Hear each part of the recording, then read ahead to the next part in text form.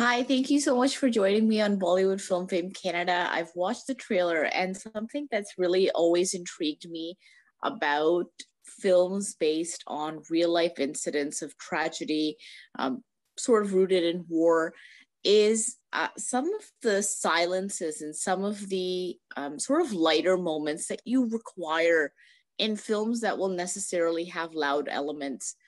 And tell me a little bit about your treatment of the the mood of the film knowing that moods of these kind of films are always high octane big on thrills big on action how did you ensure you infuse those light moments in there to keep that audience intact so um, i have a quite a twisted sense of humor also um, okay.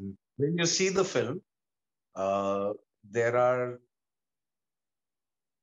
two, two actually a couple of moments, two which I stand out a little more than the others. Uh, one is there in the trailer where uh, Commando throws a grenade and right. the terrorist is so busy laughing he doesn't realize that the grenade has come up right next to him. And then he right. realizes and then he uh, runs and hides. Right. Okay. Uh, of course, in the film, there's a lot more. So you see it, then you'll know what I mean. Uh, but yeah, those were that those are impro improvisations I did on set. Uh, you know, uh, because like you said, this film films like this can be very heavy.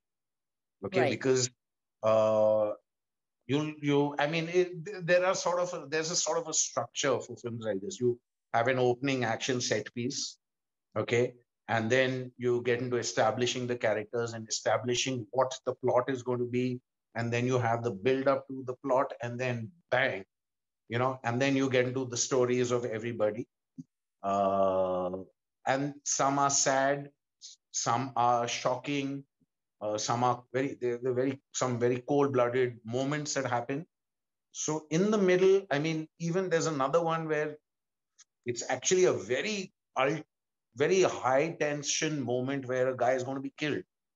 Right. You know? And the terrorist uh, says, Tell those people your name. You know, and in being nervous, a guy turns around and tells the terrorist his name. You know, and the terrorist says, I know your name. Tell them your name. You know, right. it's it's not a time to be funny. I I mean, nobody will find it funny also. You know, but it was just uh, these moments which just added a sense of reality uh, also gave you an insight to the mind of how terrorized those those poor people were you know? Right. Um, and uh, of course then you then i mean you get into the the cat and mouse game between the commandos.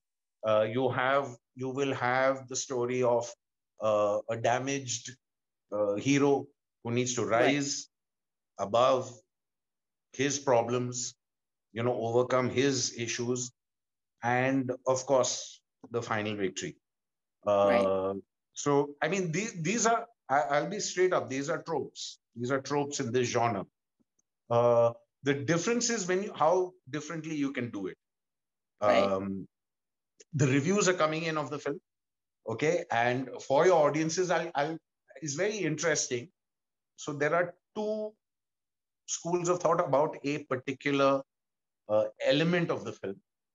Mm. One school of thought loves the fact that it's straight to the point and it moves really fast. That the film is pacey. You don't, you can't get your eye off the screen. You're sitting on the edge of your seat. You don't move till from the first frame to the last frame. Okay? Right.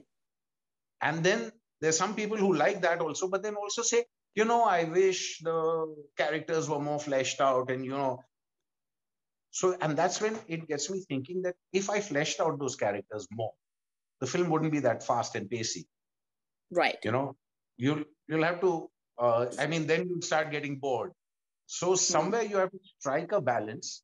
And one realization is uh, I, uh, that I have always, actually, after every project happens, you can't make everybody happy so you go you go with uh, you know with with your best foot forward and uh, hope people like it hmm.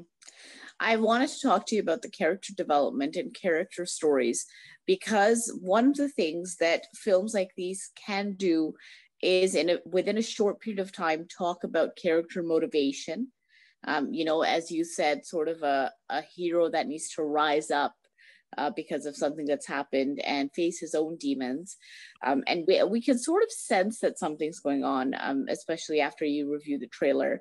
But how and and you talked about you know you sort of have to compromise a little bit otherwise you're going to be you're going to flesh out all of those stories and it's not going to be fast paced anymore how do you make that decision how how do you ensure that you still have characters that people can empathize with um, but at the same time deliver the thrills that a film like this requires.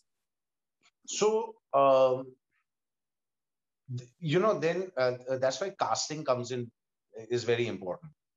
Hmm. uh, because the audience needs to look at the actor for 20 seconds and just understand everything about the actor, about this character you know everything about this character. You know you know that he or she this is their story.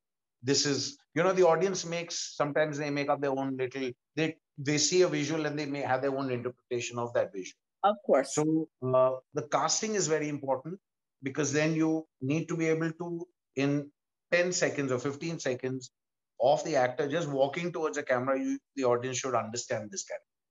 You know mm-hmm. so i don't need to waste two more scenes or three more scenes telling you about this character because you got the character just in the first shot.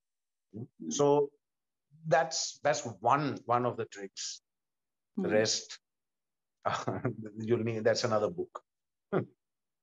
Right. You said uh, you said casting is very important. Let's talk about akshay khanna um, as your principal character because uh, we, we've seen him in a war uh, a very very intense war film before.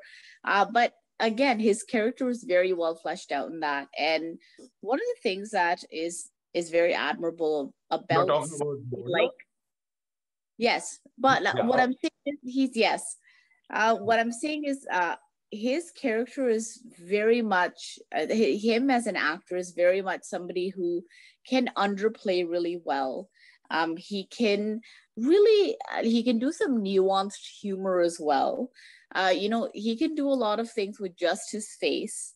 Tell me about um, casting uh, Akshay Khanna and sort of what went what what went through your mind uh, when you decided that this was it. He was going to be your principal a principal character.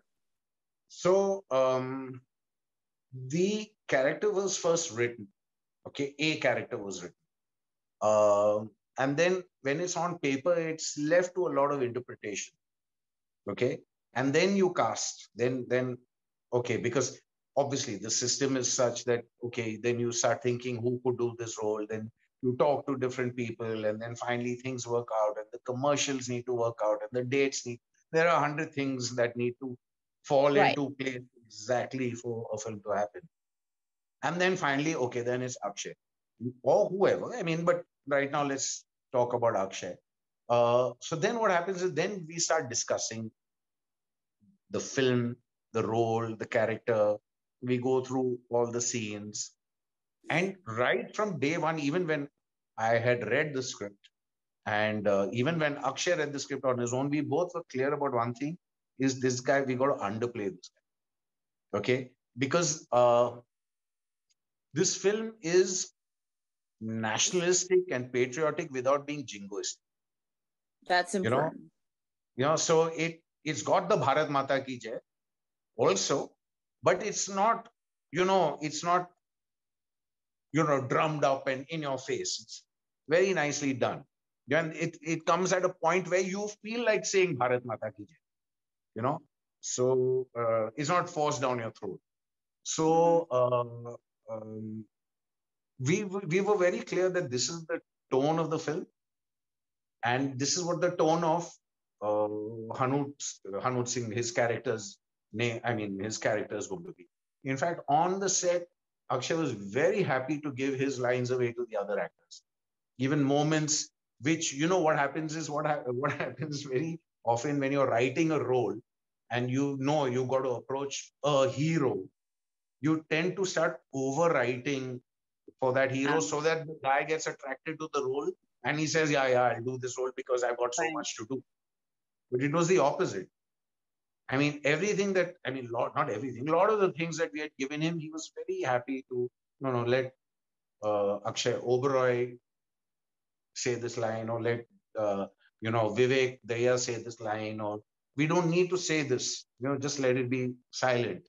Yeah. And we had agreed on a lot of things like that. That's fantastic. I think that uh, one of the best things an actor can do is be giving like that because uh, although an actor can be really good in a film, the film may not work if uh, the other actors don't have a lot to do.